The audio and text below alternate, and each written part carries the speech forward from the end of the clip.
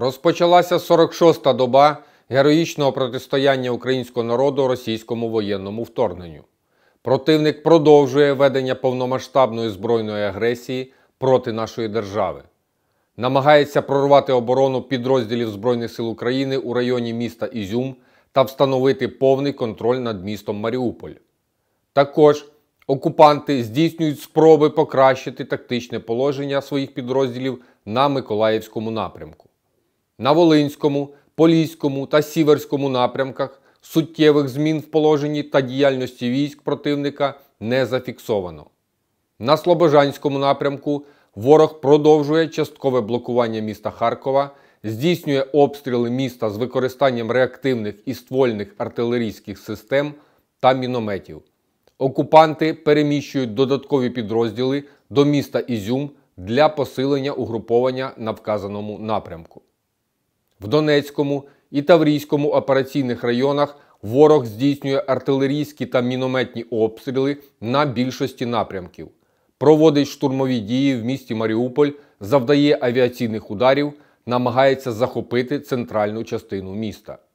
На південно-бузькому напрямку противник вчергове намагався встановити контроль над населеним пунктом Олександрівка. Успіху не мав. Втратив до ротної тактичної групи особового складу та техніки.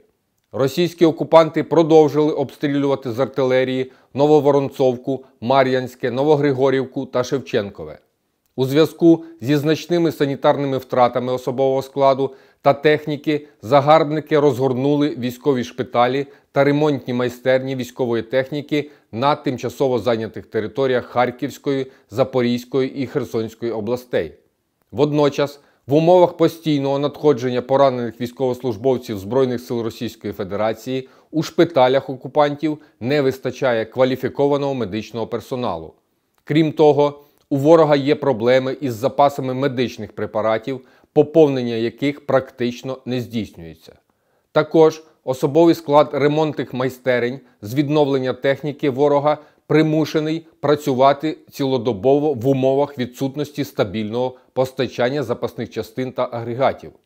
Відзначається прибуття ремонтно-відновлюваних бригад з території Російської Федерації Ярославська область для проведення ремонтно-відновлювальних робіт залізничних шляхів на тимчасово зайнятих територіях Харківської області. У населених пунктах Мелітопольського району Запорізької області російські загарбники продовжують обшуки помешкань цивільного населення, перевіряють документи, наявність автомобільного транспорту, запаси продуктів харчування, здійснюють допити щодо місць роботи близьких родичів та вимагають інформацію про колишніх співробітників правоохоронних органів, військовослужбовців Збройних сил України, учасників АТО ООС.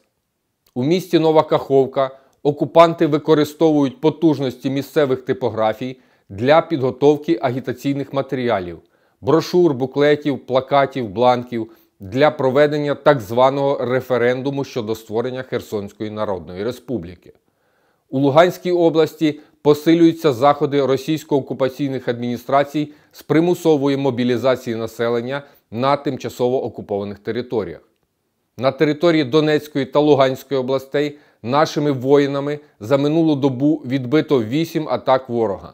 Знищено 4 танки, 8 одиниць броньованої та 7 одиниць автомобільної техніки противника. Угрупованням повітряних сил Збройних сил України за попередню добу було уражено 13 повітряних цілей, 3 літаки, 1 вертольот, 5 безпілотних літальних апаратів та 4 крилаті ракети. Віримо у Збройні Сили України. Разом переможемо! Слава Україні!